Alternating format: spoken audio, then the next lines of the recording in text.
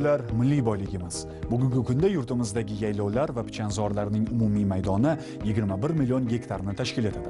Bu esa qishloq xo'jaligining asosiy tarmoqlaridan bo'lgan chorvachilikni rivojlantirish, qolaversa, boy o'simlik dunyosidan farmatsevtika va boshqa sohalarda foydalanish uchun katta imkoniyat degani. Afsuski, bu milliy boyligimizdan samarali foydalanyapmiz deyish qiyin. Tahlillarga ko'ra, so'nggi 25-30 yil ichida 40% yaylovlar va pichanzorlar maydoni tanazzulga uchragan 20 foiz o'simliklarning soni va turlari kamaygan.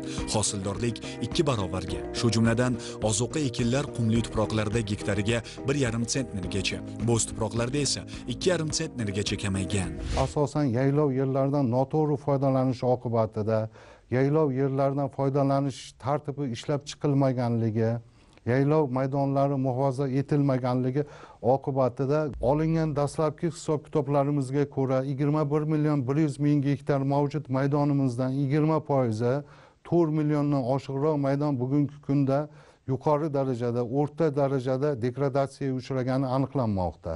O'zbekistonda to'rt yarim ming xildan ortiq o'simlik turlari yaylovlarimizda mavjud. Shu degradatsiyaga uchragan maydonlardan o'simlik turlari mutlaqo yo'qolib ketgan.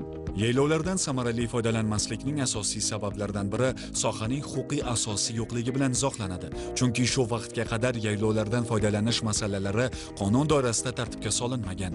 Yaylovlardan foydalanish va ularni muhofaza qilishning davlat tizimi joriy qilinmagan. Vakolatli davlat organlari va mahalliy davlat hokimiyati organlari o'rtasida vazifalar taqsimlanmagan. Holbuki aqsh xitoy buyuk britaniya shvetsariya qozog'iston turkman turkmaniston qirg'iziston va boshqa mamlakatlar qonunchiligida yaylovlardan foydalanish masalalari allaqachon tartibga solingan. Qonunchilik palatasi tomonidan 2019 yil 2 aprelda qabul qilingan mamlakatimiz senati 3 may kuni ma'qullagan hamda o'zbekiston prezidenti bugun imzolagan yaylovlar to'g'risidagi qonun esa ushbu huquqiy kemtiklikni bartaraf etishga qaratilgan. Qonunda yaylovlarning umummilliy boylik ekanligi davlat tarafidan muhofaza qilinishi e'tirof etilmoqda. Shuningdek yaylovlardan foydalanish va ularni muhofaza qilish sohasidagi davlat siyosatining asosiy yo'nalishlari belgilab berilmoqda. Muhtaram yurtboshimiz tomonidan imzolangan o'zbekiston respublikasining yaylovlar to'g'risidagi e, qonuni. Shubhasiz mamlakatimizda oxirgi yillarda qishloq xo'jaligida olib borilayotgan islohotlarning mantiqiy davomi desak mubolag'a bo'lmaydi. Ushbu qonun yaylovlar to'g'risidagi huquqiy munosabatlarni tartibga soladi. Birinchidan ushbu qonun bilan yaylovlar yaylovlarning turlari yaylovdan foydalanuvchilar ularning huquqlari majburiyatlari aniqlashtirilayotgan bo'lsa ikkinchidan yaylovlardan foydalanish va ularni muhofaza qilish sohasida davlat organlarining vakolatlari vazifalari shuningdek fuqarolik jamiyati institutlarining ishtiroki belgilab beriladi. Yaylov to'g'risidagi qonunning qabul qilinishi bu respublikamiz uchun eng muhim qonunlardan biri hisoblanadi. Ushbu kunga qadar yaylovlardan foydalanish ularni tartibga solish bo'yicha respublikamizda qonunchilik huquqiy me'yorlar yo'q edi. Buning natijasida o'simlik dunyosiga katta talofatlar yetkazilgan bo'lib chang to'zonlarni havoga atmosferaga ko'tarilib ekologik holatni yomonlashuviga olib keladi. Agar yaylovlardan oqilona foydalanilgan bo'lsa o'z navbatida o'simlik dunyosini ham saqlab qolishiga erishilib ekologik muvozanatni tiklanishiga va uni barqarorlanishiga olib keladi. Qonunga muvofiq bu sohadagi davlat boshqaruvi vazirlar mahkamasi mahalliy davlat hokimiyati organlari hamda maxsus vakolatli davlat organlari ya'ni yer resurslari geodeziya kartografiya va davlat kadastri davlat qo'mitasi ekologiya va atrof muhitni muhofaza qilish davlat qo'mitasi o'rmon xo'jaligi davlat qo'mitasi tomonidan amalga oshiriladi. Bularni hammasi bir maqsadga yo'naltirilgan mana shu yaylov yerlarini tanazzulga uchrashini oldini olish. Chunki har bir yaylov hududida foydalanishda me'yor belgilanadi. Masalan o'sha bir gektar maydonda e, bir bosh chorva bosh soni boqiladigan bo'lsayu lekin u yerda biz ikkita uchta chorva mol boshini boqadigan bo'lsak albatta u yerdagi o'simlik qoplamiga jiddiy zarar yetkazamiz. Qolaversa yaylovdan foydalanishda o'simliklarni o'sha tabiiy ravishda ya'ni tiklanishini e'tiborga olishimiz kerak.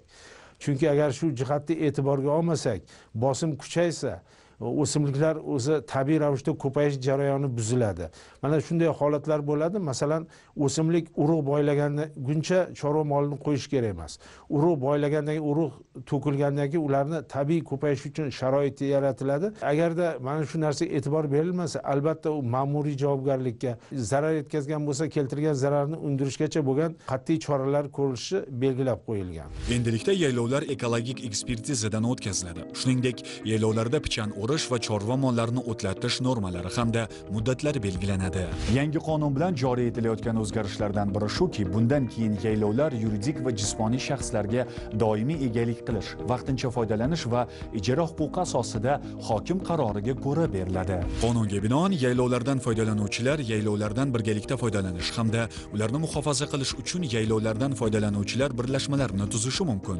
Ushbu qonun o'zida yaylovlarni muhofaza qilish yaylovlarni qayta ko'paytirish yaylovlarni e, tiklash ularni inventarizatsiya qilish e, yaylovlarni geobotanik tadqiqotlarini olib borish va yaylovlardan o'zboshimchalik bilan foydalanish e, yaylovlarda o'sayotgan o'simliklarni payhon qilish bilan bog'liq bo'lgan tartibotlarni ham aks ettiradi.